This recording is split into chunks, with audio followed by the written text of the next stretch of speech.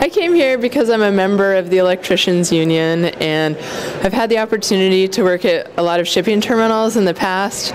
Really excellent job experience and uh, for that reason I'm supportive of the project up at Cherry Point. I want to make sure more people can have that opportunity and uh, this seemed like a good forum to uh, see people that are active on uh, that project trying to make it happen.